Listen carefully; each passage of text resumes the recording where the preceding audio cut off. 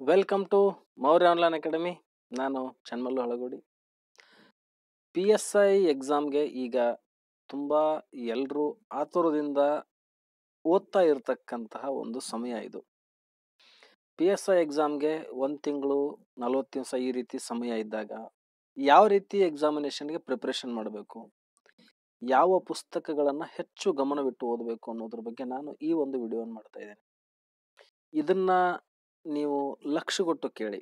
ನಾನೇನು ನಿಮಗೆ ಕೆಲವೊಂದಿಷ್ಟು ವಿಶೇಷವಾಗಿರ್ತಕ್ಕಂಥ ಟ್ರಿಕ್ಸ್ಗಳನ್ನು ಹೇಳ್ತೀನಿ, ಅವುಗಳನ್ನು ಕರೆಕ್ಟಾಗಿ ಫಾಲೋ ಮಾಡಿ. ನಿಮ್ಮದು ಸಕ್ಸಸ್ ಭಾಳಷ್ಟು ಸಮೀಪ ಆಗತ್ತೆ, ಹೌದಾ? ನನ್ನ ಚಾನಲ್ಗೆ ಇನ್ನೂ ಯಾರು ಸಬ್ಸ್ಕ್ರೈಬ್ ಆಗಿಲ್ಲ, ಸಬ್ಸ್ಕ್ರೈಬ್ ಅಂತಕ್ಕಂಥ ಐಕಾನ್ ಮೇಲೆ ಕ್ಲಿಕ್ ಮಾಡಿ, ತಕ್ಷಣ ಪಕ್ಕದಲ್ಲಿ ತೆರೆದುಕೊಳ್ತಕ್ಕಂಥ ಗಂಟೆ ಆಕಾರದ ಮೇಲೆ ಕ್ಲಿಕ್ ಮಾಡಿದರೆ ನೀವು ಸಬ್ಸ್ಕ್ರೈಬ್ ಆದಂಗೆ. ನೀವು ಸಬ್ಸ್ಕ್ರೈಬ್ ಆಗೋದ್ರಿಂದ ನಾನು ಅಪ್ಲೋಡ್ ಮಾಡ್ತಕ್ಕಂಥ ವಿಡಿಯೋ ತಕ್ಷಣದಲ್ಲಿ ನಿಮಗೆ ಇನ್ಫಾರ್ಮೇಷನ್ ಬರುತ್ತೆ. ನನ್ನ ಈ ವಿಡಿಯೋ ನಿಮಗೆ ಲೈಕ್ ಆದಮೇಲೆ ಲೈಕ್ ಮಾಡಿ ಕಮೆಂಟ್ ಮಾಡಿ ಮತ್ತು ನಿಮ್ಮ ಫ್ರೆಂಡ್ಸ್ಗಳಿಗೆ ಇದನ್ನು ಶೇರ್ ಮಾಡಿ. ಭಾಳಷ್ಟು ವಿದ್ಯಾರ್ಥಿಗಳು ನನ್ನ ವಿಡಿಯೋಗಳನ್ನು ನೋಡಿದ ಮೇಲೆ ಒಂದು ನನಗೆ ಕಮೆಂಟ್ ಮಾಡ್ತಾ ಇರ್ತಾರೆ sir P S I related ವಿಡಿಯೋಗಳನ್ನು ಮಾಡಿ. ಪುಣ್ಯಾತ್ಮರ, ನಾನು ಇಲ್ಲಿಯವರೆಗೆ ಮಾಡಿರ್ತಕ್ಕಂಥ ಬಹುತೇಕ ವಿಡಿಯೋಗಳೆಲ್ಲವೂ ಕೂಡ ಎಲ್ಲ ಎಕ್ಸಾಮ್ಗೂ ಬರ್ತಕ್ಕಂಥ ವಿಡಿಯೋಗಳೇ ಅವು. ಅದರಲ್ಲಿ ಅಲ್ಲಿ ನಾನು ಎಕ್ಸ್ಪ್ಲೇನ್ ಮಾಡಿರ್ತಕ್ಕಂಥ ಎಷ್ಟೋ ವಿಷಯಗಳು, ಎಷ್ಟೋ ಪಾಯಿಂಟ್ಸ್ಗಳು ನಿಮ್ಮ ಪಿ ಎಸ್ ಐ ಎಕ್ಸಾಮ್ ಬರೋದಿಲ್ಲ ಅಂತ ನೀವೇನು ತಲೆಯಲ್ಲಿ ಇಟ್ಕೊಂಡಿದ್ರಲ್ಲ, ಅದು ನಿಮ್ಮ ತಪ್ಪು ಕಲ್ಪನೆ. ಬಹುತೇಕ ವಿಡಿಯೋಗಳಲ್ಲಿ ನಾನು ಏನು ಎಕ್ಸ್ಪ್ಲೇನ್ ಮಾಡಿದ್ದೀನಿ ಇಲ್ಲಿವರೆಗೆ, ಅವೆಲ್ಲವೂ ಕೂಡ I A S K A S ಹಿಡ್ಕೊಂಡು ಎಲ್ಲ ಎಕ್ಸಾಮ್ಗೆ ಯುಟಿಲೈಸ್ ಆಗ್ತಕ್ಕಂಥ ಮೋಸ್ಟ್ ಇಂಪಾರ್ಟೆಂಟ್ ಸಬ್ಜೆಕ್ಟ್ಗಳನ್ನು ನಾನು ಎಕ್ಸ್ಪ್ಲೇನ್ ಮಾಡಿದ್ದೇನೆ. ಇವತ್ತು ನಾನೇನೋ ಒಂದು ಮೂವತ್ತು ದಿವಸದಲ್ಲಿ ನಿಮ್ಮ ಶಾರ್ಟ್ ಕಟ್ಟಲ್ಲಿ ಚಕ್ಕಂತ ಈ ಪಿ ಎಸ್ ಐ ಎಕ್ಸಾಮ್ಗೆ ನೀವು ಹೇಗೆ ಪ್ರಿಪ್ರೇಷನ್ ಆಗಬೇಕು ಅನ್ನೋದ್ರ ಬಗ್ಗೆ ಈ ಒಂದು ವಿಡಿಯೋನ ಸ್ಪೆಷಲ್ ಆಗಿ ಮಾಡ್ತಾ ಇದ್ದೀನಿ. ಸೊ ನಾನು ನಿಮಗೆ ಹೇಳೋದೇನು ಅಂತಂದರೆ ಭಾಳಷ್ಟು ವಿದ್ಯಾರ್ಥಿಗಳು ನೀವು ಪಿ ಎಸ್ ಐ ಎಕ್ಸಾಮಿನೇಷನ್ ಅಂದ ತಕ್ಷಣ ಮ್ಯಾಗ್ಝಿನ್ಸ್ಗಳನ್ನ ಹಿಡ್ಕೊಂಡ್ಬಿಡ್ತೀರಿ. ಮ್ಯಾಗ್ಝಿನ್ಸ್ಗಳನ್ನು ಹಿಡ್ಕೊಳ್ರಿ ಒಳ್ಳೇದಲ್ಲ, ಅದು ಒಳ್ಳೆಯದು ಆದರೆ ನಾನು ಬೇಡ ಅಂತ ಹೇಳೋದಿಲ್ಲ. ಆದರೆ ಯಾವ ಮ್ಯಾಗ್ಝಿನ್ಸನ್ನು ಎಷ್ಟು ಸಮಯದವರೆಗೆ ಮಾತ್ರ ಹಿಡ್ಕೋಬೇಕು ಅಷ್ಟು ಮಾತ್ರ ಇಟ್ಕೊಳ್ಳಿ.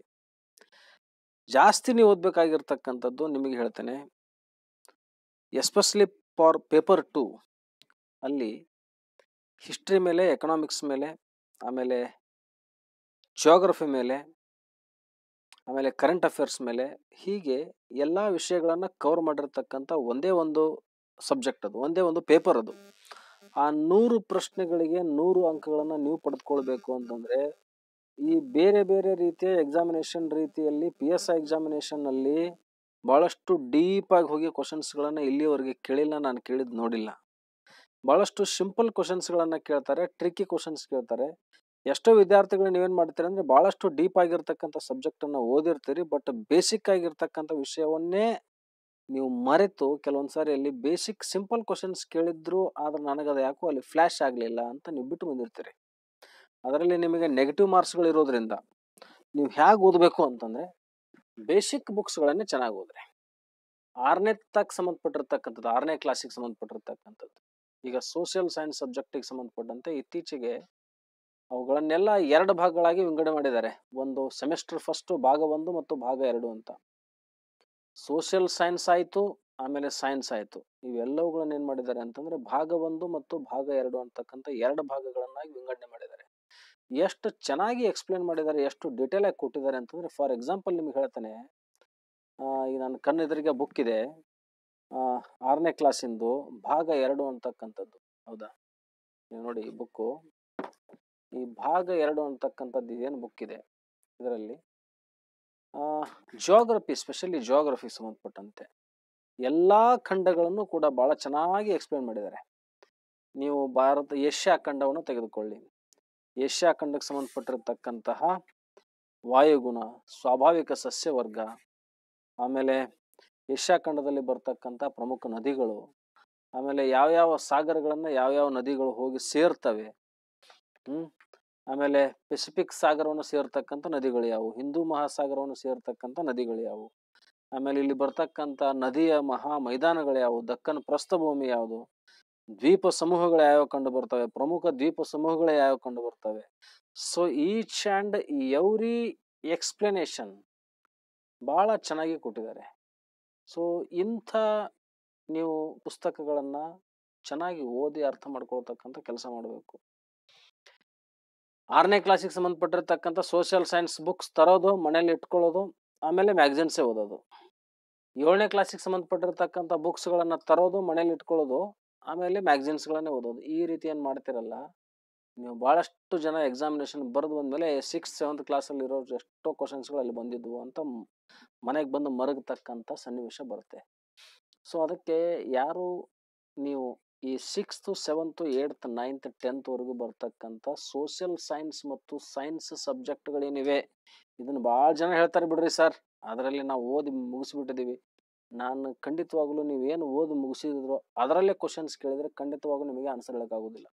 ಅಷ್ಟು ಅದನ್ನು ಟ್ರಿಕ್ಕಿಯಾಗಿ ಓದಬೇಕು. ಸುಮ್ಮನೆ ಓದಿ ಮುಗಿಸೋದಲ್ಲ. ಪ್ರತಿಯೊಂದು ಅಂಶಗಳನ್ನು ಭಾಳ ಟ್ರಿಕ್ಕಿಯಾಗಿ ಓದೋದು ಕಲಿಬೇಕು.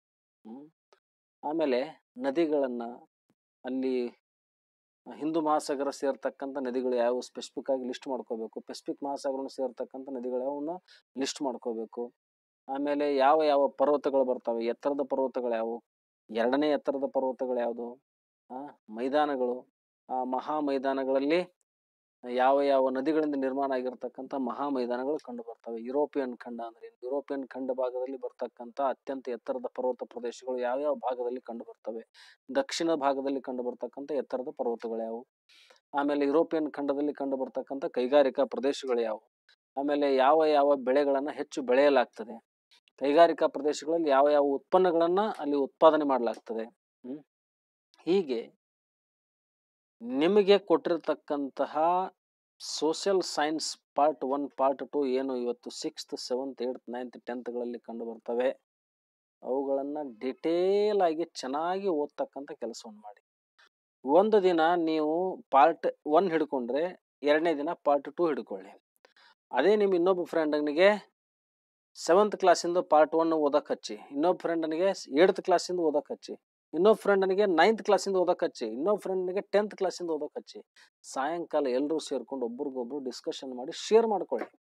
ಅದೇ ಟಾಪಿಕ್ಕಿಗೆ ಸಂಬಂಧಪಟ್ಟಿರ್ತಕ್ಕಂಥ ಡೀಟೇಲ್ ಆಗಿರ್ತಕ್ಕಂಥ ವಿಷಯವನ್ನು ಏನಾದರೂ ನಿಮಗೆ ಡೌಟ್ ಬಂದರೆ ಅವುಗಳನ್ನು ಇಂಟರ್ನೆಟ್ಟಲ್ಲಿ ನೋಡಿ ಚೆಕ್ ಮಾಡಿ ರೆಫರೆನ್ಸ್ ಮಾಡೋದಕ್ಕೆ ಕಲೀರಿ. ಅದ್ರ ಜೊತೆಗೆ ಹಿಸ್ಟ್ರಿಗೆ ಸಂಬಂಧಪಟ್ಟಿರ್ತಕ್ಕಂಥದ್ದು ಸದಾಶಿವ ಬರ್ತಕ್ಕಂಥ ಬುಕ್ನಾಗಿರಲಿ ಆಮೇಲೆ ಜೋಗ್ರಫಿಗೆ ಸಂಬಂಧಪಟ್ಟಿರ್ತಕ್ಕಂಥದ್ದು ರಂಗನಾಥ್ ಬರೆದಿರ್ತಕ್ಕಂಥ ಬುಕ್ ಆಗಿರಲಿ, ಇವನ್ನೆಲ್ಲ ಒಂದು ರೌಂಡು ಅದೇ ಟಾಪಿಕ್ಗಳಿಗೆ ಏನು ಎಸ್ ಎಸ್ ಎಲ್ ಸಿ ಮತ್ತು ಹೈಸ್ಕೂಲ್ ಮಟ್ಟದಲ್ಲಿ ಬರ್ತವೆ, ಅವೇ ಟಾಪಿಕ್ಗಳನ್ನು ಡೀಟೇಲ್ ಆಗಿ ಅಲ್ಲಿ ನೋಡಿ ಅವನ್ನ ಮತ್ತೊಂದು ರೌಂಡ್ ಡಿಸ್ಕಷನ್ ಮಾಡಿ. ತರ್ಟಿ ಡೇಸಲ್ಲಿ ನೀವು ಚೆನ್ನಾಗಿ ಕವರ್ ಮಾಡು. ಆಮೇಲೆ ನಾನು ನಾಳೆಯಿಂದ ನಿಮಗೆ ಇದೇ ವಿಷಯಕ್ಕೆ ಸಂಬಂಧಪಟ್ಟಂತೆ ಡೈಲಿ ಹತ್ತರಿಂದ ಇಪ್ಪತ್ತು ಕ್ವಶನ್ಸ್ಗಳು ಮೋಸ್ಟ್ ಇಂಪಾರ್ಟೆಂಟ್ ಕ್ವಶನ್ಸ್ಗಳು ಪಿ ಎಸ್ ಎಕ್ಸಾಮ್ ಬರಲೇಬೇಕಾಗಿರ್ತಕ್ಕಂಥ ಕ್ವಶನ್ಸ್ಗಳನ್ನು ಒಂದಿಷ್ಟು ನಾನು ನಾಳೆ, ನಾಳಿಂದ ಅವುಗಳನ್ನು ವಿಡಿಯೋ ಮಾಡಿ ಮಾಡಿ ಬಿಡ್ತೇನೆ. ಸೊ ಅವುಗಳನ್ನು ನೀವು ಚೆನ್ನಾಗಿ ನೋಡ್ಕೊಳ್ಳಿ. ಆಮೇಲೆ ಇಂಡಿಯನ್ ಕಾನ್ಸ್ಟಿಟ್ಯೂಷನ್ಗೆ ಸಂಬಂಧಪಟ್ಟಂತೆ ಕೆ ಎಂ ಸುರೇಶ್ ಅವರು ಬರೆದಿರ್ತಕ್ಕಂಥದ್ದೇನು ಭಾರತ ಸಂವಿಧಾನ ಇದೆ. ಆ ಬುಕ್ಕನ್ನು ಚೆನ್ನಾಗಿ ರೆಫರೆನ್ಸ್ ಮಾಡಿ. ಯಾಕಂತಂದರೆ ಮಲ್ಟಿಪಲ್ ಚಾಯ್ಸ್ ಕ್ವಶನ್ಸ್ಗೆ ತುಂಬ ಹೆಲ್ಪ್ಫುಲ್ ಆಗ್ತಕ್ಕಂಥದ್ದು ಶಾರ್ಟ್ಕಟ್ ಆಗಿ ಕೊಟ್ಟಿರ್ತಕ್ಕಂಥದ್ದು ಕೆ ಎಂ ಸುರೇಶ್ ಬರೆದಿರ್ತಕ್ಕಂಥ ಭಾರತ ಸಂವಿಧಾನ. ಭಾಳ ಚೆನ್ನಾಗಿದೆ. ಅವರೇ ನನಗೆ ಕ್ಲೋಸ್ ಫ್ರೆಂಡು ಅಲ್ಲ, ಏನೂ ಅಲ್ಲ.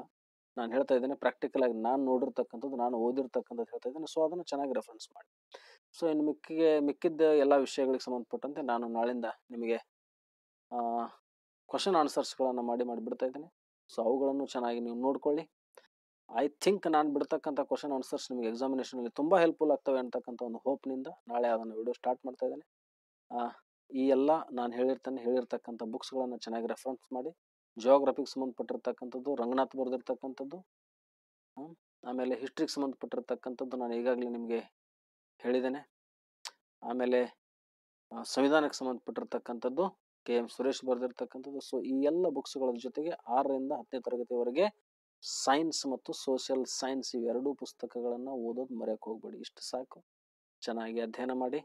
ಆಮೇಲೆ ಯಾವುದಾದ್ರೂ ಪಿ ಎಸ್ ಐಗೆ ಸಂಬಂಧಪಟ್ಟಿರ್ತಕ್ಕಂಥ ಒಂದು ಯಾವುದಾದ್ರೂ ಗೈಡ್ ಅಂತಕ್ಕಂಥ ಬುಕ್ ಅಥವಾ ಮಾರ್ಗದರ್ಶಿ ಅಂತಕ್ಕಂಥ ಯಾವುದಾದ್ರೂ ಒಂದು ಬುಕ್ ಬಂದಿದ್ರೆ, ಒಂದು ಸಾವಿರ ಎರಡು ಸಾವಿರ ಕ್ವಶನ್ಸ್ ಏನಾದರೂ ಅದರಲ್ಲಿ ಇದ್ರೆ ಎಲ್ಲ ವಿಷಯಕ್ಕೆ ಸಂಬಂಧಪಟ್ಟಂತೆ ಒಂದು ಐದೈದು ನೂರು ಆರು ನೂರು ಕ್ವಶನ್ಸ್ಗಳಿದ್ರೆ ಅವುಗಳನ್ನು ಬಿಡಿಸಿ ಪ್ರಾಕ್ಟೀಸ್ ಮಾಡೋದಕ್ಕೆ ಕಲ್ಕೊಳ್ಳಿ ಅದು ಭಾಳಷ್ಟು ಹೆಲ್ಪ್ಫುಲ್ ಆಗುತ್ತೆ ನಿಮ್ಮ ಎಕ್ಸಾಮಿನೇಷನಲ್ಲಿ ಸೊ ಈ ರೀತಿ ಮೆಥಡನ್ನು ನೀವು ಫಾಲೋ ಮಾಡಿದರೆ ನಿಮಗೆ ಒಳ್ಳೆಯ ಅಂಕಗಳು ಬರ್ತವೆ ಅಂತಕ್ಕಂಥ ಮಾತನ್ನು ಹೇಳಿ ಇವತ್ತಿನ ಈ ವಿಡಿಯೋವನ್ನು ಮುಗಿಸ್ತಾ ಇದ್ದೇನೆ. Thank you thank you so much